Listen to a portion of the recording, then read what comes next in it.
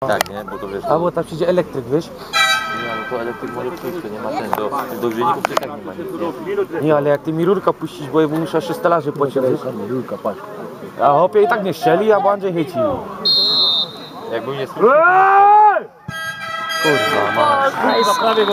Scheiße, scheiße, no.